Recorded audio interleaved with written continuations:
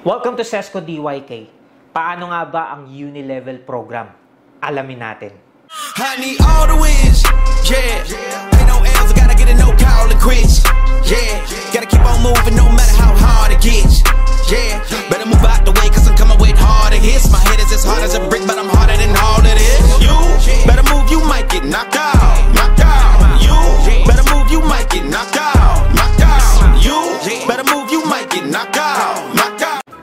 all, para maintindihan mo ang Unilevel program, kailangan mong mas maintindihan yung tinatawag nating level of generations. So, meron tayong tinatawag na first level of generations, which is, ito yung mga unang tao na napasign up mo at napa-activate mo. Ibig sabihin, directly, ikaw ang kanilang sponsor. At sila naman, yung tinatawag mong direct sponsored members. Now, sino naman yung second level of generations na meron ka? Ito yung mga tao na napa-sign up at napa-activate ng mga first level mo. At kung sino naman yung mga nasa second level mo, kung sino naman yung kanilang mga mapapa-sign up at mapapa-activate, yun naman ang iyong third level, up to fourth and up to fifth, and so on.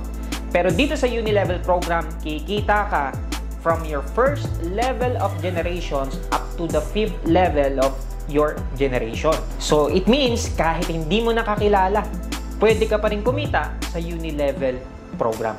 Sa Unilevel program, para magkaroon ka ng earnings dito is kailangan makapag-maintain ka ng iyong account for only 50 points every month. So let's just say na bumili ka ng loose products na merong points. Meron tayo mga products na may 10 points value at yung iba naman is 20 points value.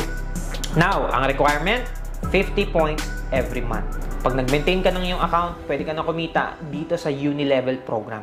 Paano? Kapag merong nag-maintain din from your first level up to fifth level of generations ng buong community mo. Magkano kikitain mo? 40% ng points.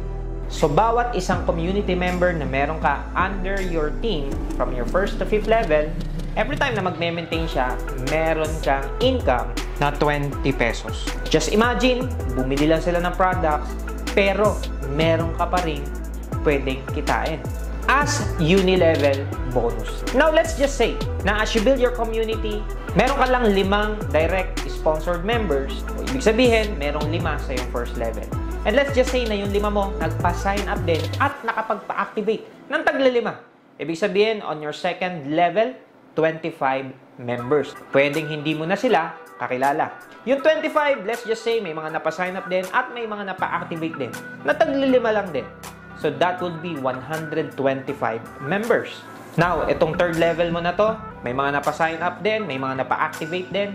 Taglilima din, yung fourth level mo, let's just say, 625 members. So, sa fifth level of generations mo, pwedeng magkaroon ka ng community members na 3,125. So, let's just say na every month, nagme-maintain itong mga community members mo ng 50 points lang naman every month. So sa example na to, ang pwede mong kitain ay 78,100 pesos buwan-buwan. Good news, it's a residual income. Why? Dahil every month, may mga napapa-orders ang mga community members kaya they need to buy products. Either panggamit nila or pangbenta nila kasi may mga pa-order sila. So, imagine, as you build your community, pwede kang kumita ng Unilevel bonus as a residual income every single month.